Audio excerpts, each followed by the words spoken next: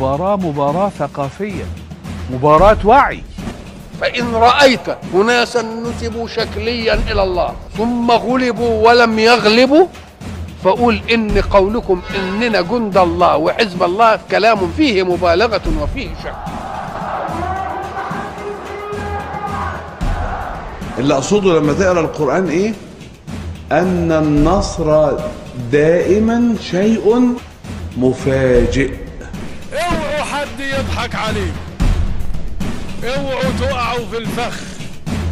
اوعوا تفرطوا في الشرعيه مشاهدينا السلام عليكم ورحمة الله وبركاته وأهلا بكم من جديد في قناتكم الوعي الإسلامي. من أسباب هزيمة الأمة الإسلامية ومن أسباب هزيمة مسلمي مصر هو عدم اهتمامهم بالتاريخ وأن القيادات في الغالب الأعم ليس لديها دراية بعلم التاريخ ولا يوجد في النخبة الإسلامية مؤرخين بعدد كافي إن لم يكن ندر وقد نبه الأسد المجاهد حازم صلاح أبو إسماعيل أعانه الله على فك أسره على أهمية الوعي بالتاريخ. حول هذا الموضوع معنا المفكر الإسلامي الأستاذ محمد إلهام. أهلا بك أستاذ محمد. أهلا بك أخ صابر أستاذ محمد يعني حضرتك آه، من الأسباب التي يعني كان الأسد المجاهد حازم صلاح أبو إسماعيل وحضرتك أيضا كتبت في هذا آه، إنه إحنا ك- كأمة مسلمة أو يعني حتى على الأقل مسلمي مصر أو المشاركين في الثورة ليس لديهم وعي بالتاريخ رغم ذكائهم. نعم. فهل آه، عدم وجود علماء في مجال التاريخ ساهم في إفشال ثورة 25 يناير وثورة رابعه العدوية التي نحن فيها أم لا؟ يعني كيف ترى الأمر؟ بسم الله والحمد لله والصلاة والسلام على رسول الله صلى الله عليه وسلم. بداية يعني لابد أن نتذكر الشيخ حازم أبو إسماعيل فعلا. نسأل الله تبارك وتعالى أن يفك أسره وأن ينفعنا وأن يمتعنا به. الشيخ حازم أبو إسماعيل كان شعاره أدركوا اللحظة الفارقة. شعار أدركوا اللحظة الفارقة ده ما يطلعش إلا من واحد قاري تاريخ كويس. يعني هذا الشعار نفسه شعار أدركوا اللحظة الفارقة يدل على قراءة بصيرة للتاريخ. الشيخ حازم. كيف؟ وأنا لما كنت أقابل الشيخ حازم كانت أحيانا تدور بيننا يعني نقاشات في مسائل تاريخية وهكذا رغم أنه هو محامي ورغم أنه هو يعني متخصص في أمور أخرى غير التاريخ إلا أن التفاتاته التاريخية الحقيقة يعني كان يناقشني أحيانا في صميم كتب. يعني في صميم كتب قرأناه يقول لي بس أنا حاسس الكتاب ده أدلته مش وافية في الموضوع.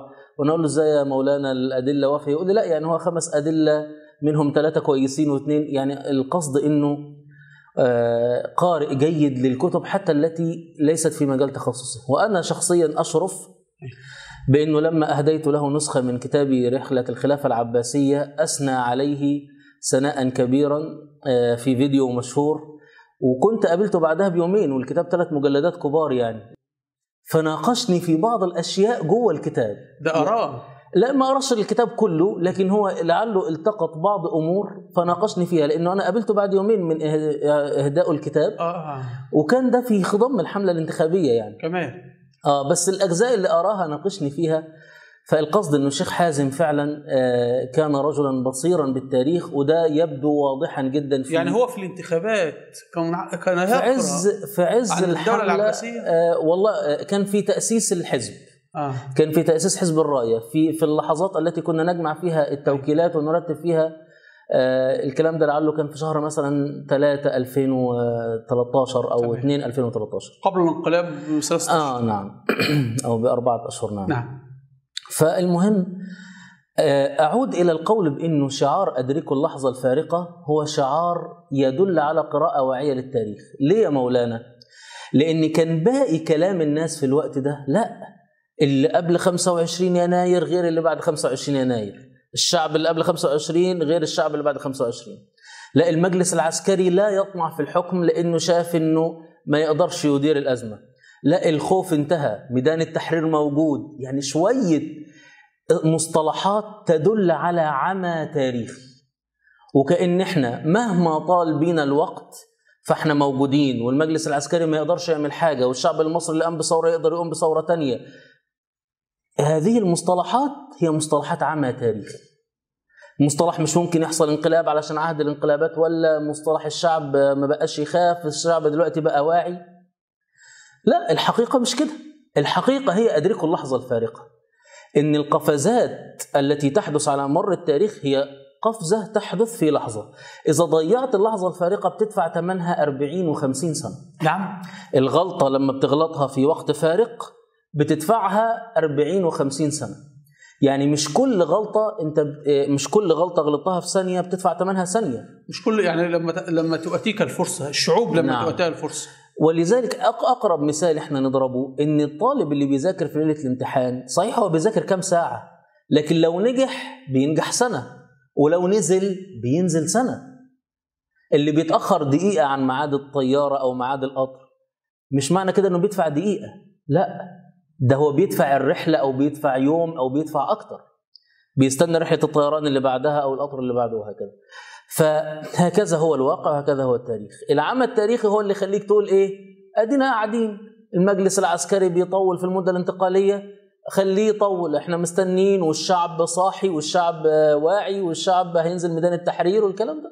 طيب أستاذ محمد يعني آه، دعنا نذهب لفيديو للاسد المجاهد حازم صلاح أبو إسماعيل وهو يتكلم عن أهمية التاريخ والوعي لدى المسلمين وقد أصبحنا أمة وشعبا بلا ذاكرة. بسبب غياب التاريخ.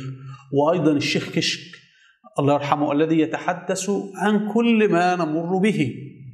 وفي كل موقف يحكيه ويرويه وأنه سيحدث في المستقبل يقول عبارته يقول عبارته المشهورة اقرأوا التاريخ.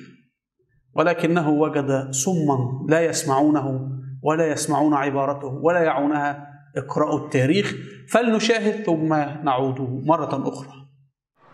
ولكني أخاطب الوعي اليوم. أريد أن نستيقظ. نحن شعب؟ نحن شعب. احفظوا هذا. قام بثورات كثيرة في كل تاريخنا. ما من ثورة من ثورات تاريخنا إلا وسرقت وأجهضت مفيش ولا ثورة تطلع عمر مكرم وكان إسلامي وعالم من علماء الأزهر ومناضل كبير وجد الوالي يأخذ الضرائب ويأخذ أموال الناس ويجلد ظهورهم ويحبسهم. فقام مع علماء الأزهر بصناعة ثورة خلع فيها الحاكم الظالم خلعا وولى مكانه واليا ليقيم العدل وتعهد الوالي فلما ولي نوطي شوية لو سمحت نوطي شوية من فضلك فلما ولي الوالي الجديد إذا به يخدر المشاعر الثائرة وإذا به يضرب عمر مكرم ويلوث سمعته ويضرب بينه وبين بقية العلماء ويستدير على المماليك ويقضي على كل أحد وينفرد بحكم البلد بل ويورثها لأبنائه ابنا بعد ابن لمدة 150 سنة. ولما خرج يوما من الأيام في ثورة أخرى أحمد عرابي ليقول له إن الله خلقنا أحرارا ولن نورث بعد اليوم. آه، أحمد عرابي أقسم قال وإنا والله لن نورث بعد اليوم. ولكننا ظللنا نورث بعده أياما وعقودا وأجيالا. وجاء الاستعمار الإنجليزي وأصبح حاكم يورثنا لحاكم. يجي مثلا جمال عبد الناصر يجيب أنور السادات بعد يوم عبد السادات يمسك.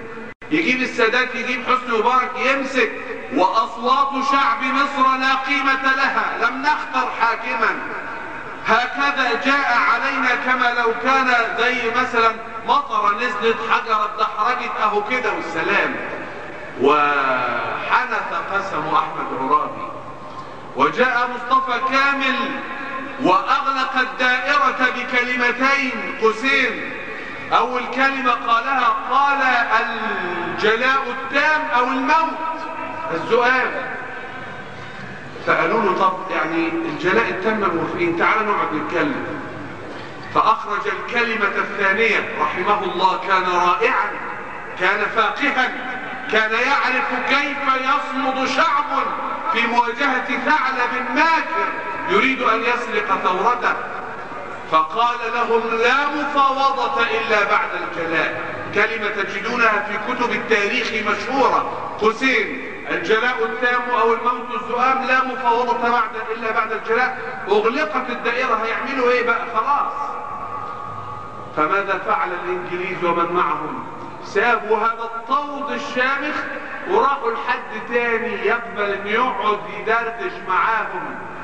وفتحوا باب المفاوضات وعملوا له تمثيلية ومنهم كان ناس مخلصين. أنا لا أتهم اتهاما عاما انما عملوا تمثيلية إن الناس بيفوضوهم يتكلموا. وكانت النتيجة إن المفاوضة قعدت كتير قعدت 34 سنة. بيستهلكوا أعمار أمة وأعمار شعب. مفيش ثورة إلا وسرقت. اقرأوا التاريخ. اقرأوا التاريخ. عدنا مشاهدينا مرة أخرى. أستاذ محمد إلهام يعني الشيخ كشك كان يقول نعم في كل موقف أنا كلما أعددت حلقة عن عامل أسرع أقرأ أقرأ أقرأ ثم أقول لنفسي لابد وأن يكون الشيخ كشك قد تحدث في هذه المسألة. فأبحث فأجد أن الشيخ كشك قد لخص في دقيقة ما كنت أبحث فيه طول عام. ثم يختم اقرأوا التاريخ. نعم. مسدد وموفق رحمه الله. الله يرحمه. شوف يا شيخ صابر تأتي القرآن الكريم تلته تاريخ. نعم. تلت القرآن الكريم تاريخ. تمام؟ وآية من آيات طب خلينا. قبل نخش القرآن إيه أهمية التاريخ في الصراع العسكري والسياسي والذي نحن فيه هو؟ ده تخيل الكتاب الذي نزل هداية للبشرية تلت تاريخ فكفى بهذا آه، دليل على أهميته لما يبقى تلت الكتاب تاريخ ثم إنه دراسة التاريخ أمر أمر رباني أيوة. يعني قال الله تبارك وتعالى لنبيه فاقصص القصص لعلهم يتفكرون فاقصص القصص لعلهم يتفكرون. فريضة إسلامية. نعم. ف آه، إن النبي صلى الله عليه وسلم ينزل عليه القرآن يهديه يعني قال الله تبارك وتعالى أولئك الذين هداهم الله فبهداه مقتده. يعني ربنا يحكي قصص الأنبياء وقصص الدعوات السابقة ثم يأمر نبيه بأن يقتدي بهدى أولئك السابقين. وكلا نقص عليك من أنباء الرسل ما نثبت به فؤادك يعني التاريخ ملوش كمان فايدة علمية فقط ده ليه فايدة نفسية إن أنت لما. لما تقع في أزمة أو على الأقل لما تبقى في عصر الظلام أو لما تبقى في عصر تمكين قراءة التاريخ هي اللي بتثبتك وبتجيب لك الأمل أو ترشدك أو ترشدك للطريق الصحيح. وكلا نقص عليك من أنباء الرسل ما نثبت به فؤادك. ولذلك النبي صلى الله عليه وسلم لما كان يؤذى كان يقول رحم الله أخي موسى لقد أوذي بأكثر من هذا فصبر. يبقى كان بيفتكر إيه؟ تاريخ. كان بيفتكر تاريخ. ولما أتاه سيدنا خباب من الأرض فقال يا رسول الله ألا تدعو لنا؟ ألا تستنصر لنا؟ عمل النبي صلى الله عليه وسلم. ذكره بالتاريخ. قال لقد كان يؤتى بالرجل في من كان قبلكم فينشر بالمناشير. يوضع المنشار على مفرق رأسه حتى يصير نصفين ويمشط بأمشاط الحديد ما بين لحمه وعظمه. فلا يرده ذلك عن دينه ولكنكم قوم تستعجلون. ولكنكم قوم تستعجلون. وانظر العبارة التي قالها والله ليتمن الله هذا الأمر اللي هو الإسلام. حتى يصير الراكب من صنعاء إلى حضر موت لا يخشى إلا الله والذئب على غنم. قال كده ليه؟ العلم بالتاريخ وبقصص السابقين. فالتاريخ هو أمر رباني أنزله الله تبارك وتعالى لفائدتين فائدة الهدى الفكر العقل وفائدة التثبيت النفسي والاطمئنان الروحي للنبي صلى الله عليه وسلم ولصحابته. وكذلك نحن مأمورون لقد كان لكم في رسول الله أسوة حسنة لمن كان يرجو الله واليوم الآخر. طب أستاذ محمد بصراحة شديدة. قيادات التيار الإسلامي 99.9 من عشرة والنسبة دي ما فيهاش تزوير من الأطباء والمهندسين وبتوع الكيمياء والعلوم والفيزياء وما إلى ذلك هل لو قيادات التيار الإسلامي كانت متخصصة في مجال التاريخ والجغرافيا والسياسة وما إلى ذلك زي قناه حزب العدالة والتنمية نعم، في تركيا نعم. يعني كلهم في مجال العلوم الإنسانية وليس العلوم الايه هل كانت نتيجة الصراع في مصر بين العسكر وبين المسلمين مصر كان سيختلف أم لا؟ يعني قولا واحدا. ما فيهاش كلام. قولا واحدا كان سيختلف. لماذا؟ كيف؟ إيه أصل الخلاف بين العلوم الإنسانية وبين العلوم التطبيقية والعلوم البحتة. العلوم التطبيقية والعلوم البحتة هي علوم ما مواد خامات قوانين منطق يعني حسابات. الاطباء والمهندسين دول أذكى ناس يا مولانا. ما هم أذكى ناس وهذا ليس طعنا في ذكائهم بالمرة. الأطباء والمهندسين ليس طعنا في ذكائهم إنما تركيبة العقل الهندسي وأنا مهندس آه. تركيبة العقل الهندسي على واقع البشر ما يركبش لأن النفوس الإنسانية ليست لها نفس القوانين التي للعلوم والمواد والخامات النفس الإنسانية نفس مركبة نفس عميقة نفس لها كثير من المنازع مش زي المادة اللي هي بتدرسها وبتحطها تحت الميكروسكوب وبتعرف درجة حرارتها وإمتى بتنصهر وإمتى بتتجمد وإمتى بتتفاعل مع ده وايه العنصر الحفاز اللي تحطه هنا. لا مش كده. العلوم الإنسانية علوم واسعة وعميقة وليست فيها هذه يعني هذه الح- الحدية الرقمية ال- في العلوم. ولذلك أنت ممكن تمشي بالمنطق في العلوم ال- البحتة. ممكن لأنه حتى المنطق ده خاطئ. أيوة. يعني حتى في العلوم البحتة إحنا لما كنا بندرس في الهندسة أحيانا بعض النتائج الدكتور يقول لنا إيه؟ ويا أولاد النتيجة دي نتيجة معملية يعني ما لهاش تفسير علمي. يعني إحنا اكتشفناها في المعمل. آه. لكن مش عارفين نوصل لها. يعني عايز أقول لك حتى العلوم التطبيقية مش كلها رقمية وبنوصل لكل حاجة فيها بال- بالمعادلات والحساب لا. أيوة. في حاجات بتظهر في المعمل. ال- البشر أمر مختلف. آه. كثيرا ما التاريخ يخالف المنطق. يعني الراجل المهندس والراجل الدكتور ده شكل تفكيره كده شكل منطقي. واحد زائد واحد يساوي اتنين واحد تيجي بعد اتنين واتنين تيجي قبل ثلاثة ترتيبة عقله كده ترتيبة منطقية وهذا هو ما يصلحه في مجاله. لكن البشر مش كده. البشر مش كده. وممكن نضرب أمثلة كتير جدا على أن؟ التاريخ يخالف المنطق. مثل؟ مثل يعني أنا خليني أضرب الأول مثال بسيط. أيوة. ومثال برضه من الجزء العملي. لما أنت بتروح شركة آه، شركة نزلت عايزين موظفين بس يبقى خبرة خمس سنين. ليه بيقول خبرة خمس سنين؟ ما هو أنت لو عندك أي إنسان متفوق ودارس هندسة يدخل يمسك الآلة دي آه، يظبطها. لو الموضوع منطق مجرد منطق. الأول على دفعته. آه يدخل الآلة لكن افتراض الخبرة هو ده تاريخ. آه بقول لك تاريخك. بيقول تا... سابقة إنجازاتك. يبقى لك تاريخ في الشغلانة دي خمس سنين. عمل إيه قبل كده؟ السي بتاعتك. آه لأن لأن الخبرة دي بتدي لك يعني مواهب ومكتسبات وطريقة تفكير وتعامل لا يمكن تكتسبها مهما كنت ذكي. بل من الأشياء المعروفة عندنا إحنا في المهندسين يعني المهندس في أول سنتين بيتعلم من الفني اللي على اللي بيشتغل على المكنة. يعني هو بيبقى طالع الأول ولا الثاني على دفعته يعني يحصل علمه وبيتكلم إنجليزي ومش عارف إيه. لكن في الأول بيوقف يتعلم من الفني اللي موجود. فهذا حتى في العلوم الإنسانية نفسها إنه التاريخ الخبرة فارقة عن عدم وجود التاريخ. انقل بقى ده بصورة أوسع وأكبر إلى مجال العلوم الإنسانية. مجال العلوم الإنسانية يختلف عن العلوم البحتة.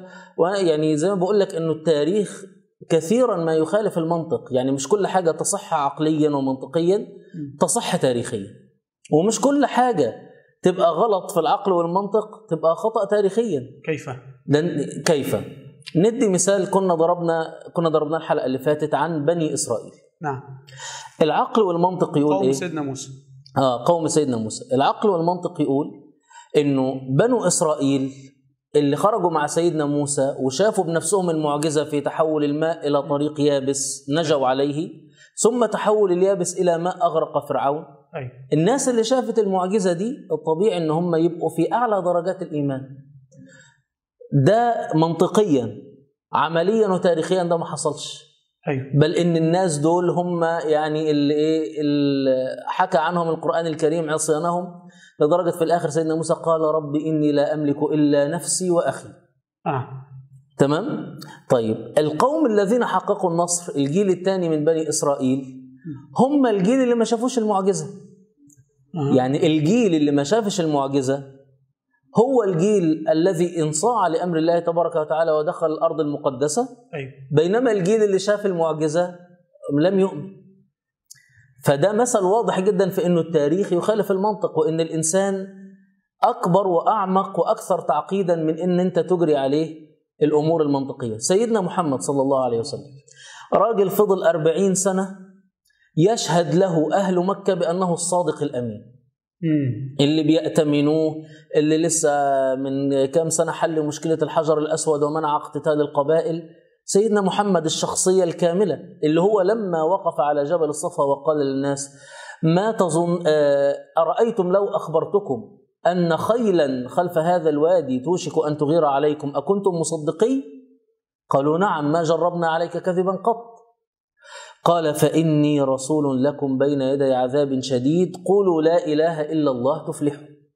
المنطق يقول إيه؟ يصدقوه. يصدقوه. ده هم لسه أثبتوا على أنفسهم هيصدق هيصدقوه ولو قال حاجة مستحيلة. مم. لكن الواقع أنه هذا الصادق الأمين تحول إلى كاهن شاعر كذاب مجنون يفرق بين الرجل وأخيه عميل لمخابرات خارجية وهكذا كل هذا الكلام.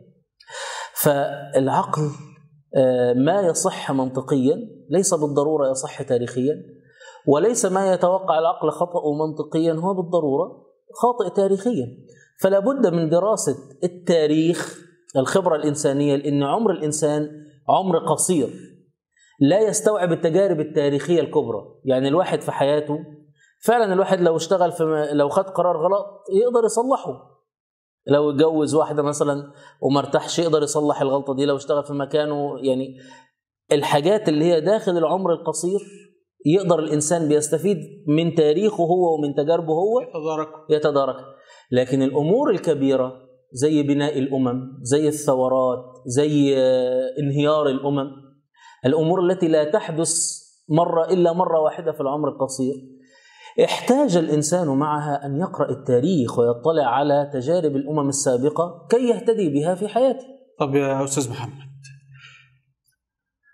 لو كنا درسنا يعني قيادات التيار الإسلامي كان من بينهم عدد كافي في مجال التاريخ هل كان يمكن أن يعرفوا أن العسكر سيكون بانقلاب عسكري؟ اولا أنا أقول إن العلوم الإنسانية أوسع من التاريخ وحده أيوة، يعني أيوة. في اقتصاد وفي سياسة آه، في علم نفس الجماهير يعني في أمور كثيرة لكن التاريخ كما يسمى أبو العلوم يعني باعتبار إن هو تتحقق فيه كل هذه العلوم يعني فيه التاريخ الاجتماعي والتاريخ السياسي نعم. والتاريخ الاقتصادي أنا أحكي لك إنه المرشح الوحيد اللي كان عنده خلفية تاريخية قوية كانت اراءه دائما سديدة وصحيحة مين؟ هو الشيخ حازم طبعا الشيخ حازم من أول شعاره شعار ادركوا اللحظة الفارقة تتذكر أول ظهور لي مع عمرو أديب أول ظهور لي على التلفزيون. فبيقول له آه طيب ما تخلينا نستنى لغاية لما القوى السياسية تاخد آه وقتها ومش عارف إيه. قال له أنت هكذا تمكن للعسكر لكي يحكموا البلد مرة أخرى. الكلام ده في شهر 3 2011 يعني أو 4 2011 وقت قريب جدا. أيوة. أيام رومانسية ثورية مع العسكر وكده. فبيقول له انت كده بتعمل لي فزاعة هي دي الفزاعة يا إما إحنا يا إما العسكر. قال له سيحكم التاريخ بيني وبينك المجلس العسكري سينقلب على الثورة. بعد شهر واحد وفي لقاء في مؤتمر في أسوان كان الشيخ حازم وكان جنبه الدكتور محمد مرسي فك الله أسرهما كان بيقول بوضوح أنا لست ممن يثقون بالمجلس العسكري وأنا أحذر من الثقة بالمجلس العسكري. ده بعدها بشهر. أنا عايز أقول ده أنا بتكلم على الكلام المعلن وإلا في الكلام آه، غير المعلن إن الشيخ حازم ليلة 11 فبراير كان بيقول للناس ما تمشوش ميدان التحرير. هو إحنا عملنا إيه؟ إحنا ما عملناش حاجة. ده الجيش خد السلطة من مبارك. فمن يقرأ التاريخ طب نذهب لنشاهد أمامه. ما قاله الأسد المجاهد حزم صلاح أبو إسماعيل اعاننا الله على فك أسره وتحريره وتحرير جميع اسرانا المسلمين. فلنشاهد ونشاهد أيضا عدد من آه، مؤسسي الدول وقادة الجيوش في التاريخ الإسلامي وغيره وأهمية إدراكهم للتاريخ وقراءتهم له. فلنشاهد ثم نعود مرة أخرى.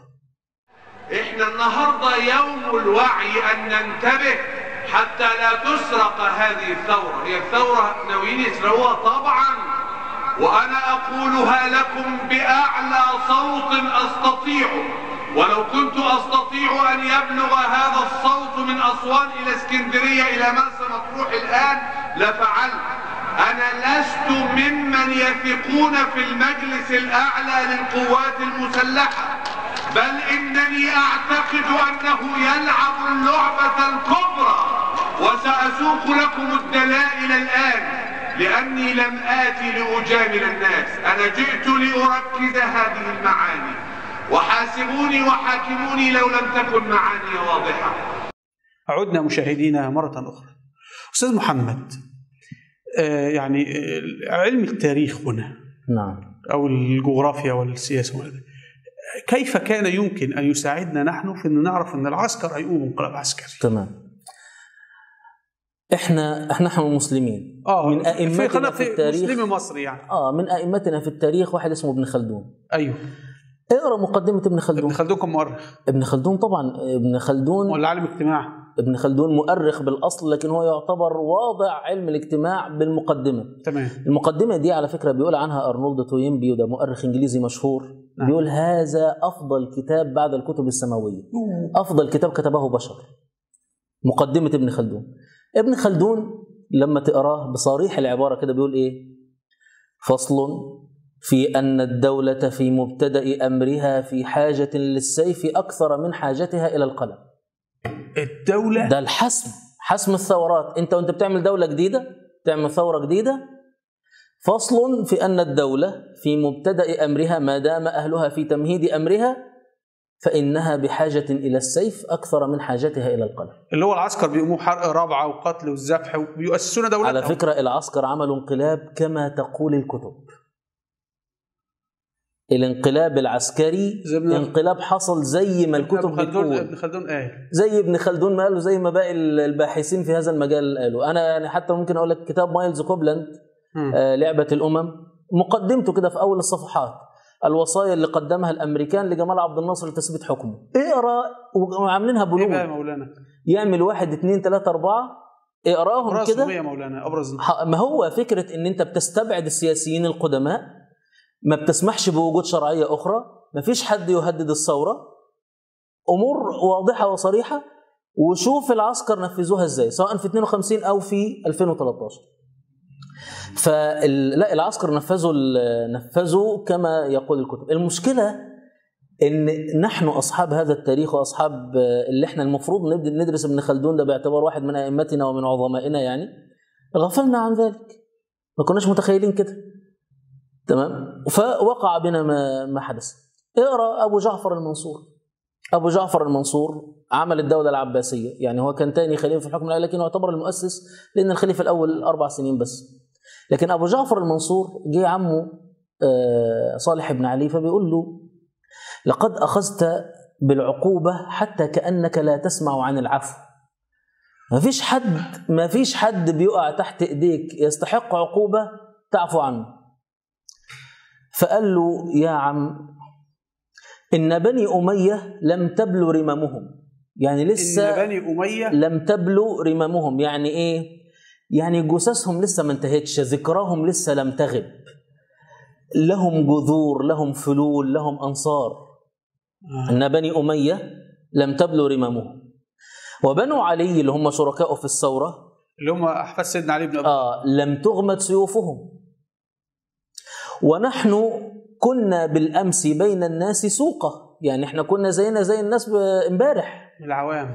فليست تتمكن هيبتنا في قلوبهم إلا باستعمال العقوبة. أوه. يعني ما ينفعش تنتقل امبارح كان بيهزر معاك ويضربك مثلا ويعني الاخوان كانوا في السجون وبكرة تاني يوم آه، حكام يبقى. حكام. فليست تتمكن هيبتنا في قلوبهم إلا باستعمال إلا بنسيان العقوبة. إلا بنسيان العفو واستعمال العقوبة.